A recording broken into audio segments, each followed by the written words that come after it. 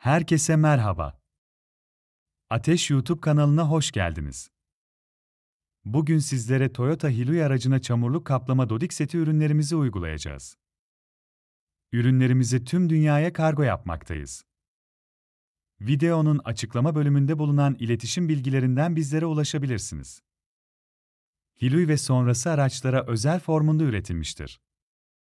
Plastik enjeksiyon ham madde ile üretilmiştir. Araç delinmez.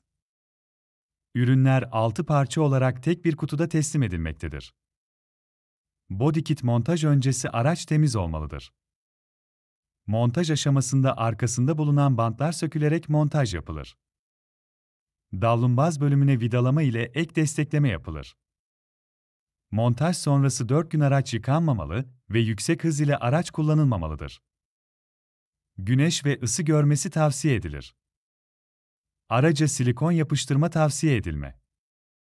Çamurluk kaplama ürünü muayenede sökülmesi gerekli değildir.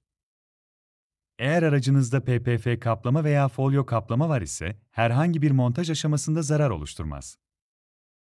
Ürün söküleceği zaman dikkatli ve özenli bir şekilde ısıtılarak çıkarılmalıdır. Araç çift depo AdBlue modeldir. Araca uygulama yapılacak modelin AdBlue kapağına uygun olması gereklidir. Bu adımları izleyerek, kapı kaplama dodikleri aracınıza doğru bir şekilde monte edebilir ve güvenli bir şekilde kullanabilirsiniz. Diğer hizmetlerimizi incelemek için global web sitemiz olan www.atesmotors.com web adresimizi ziyaret edebilirsiniz.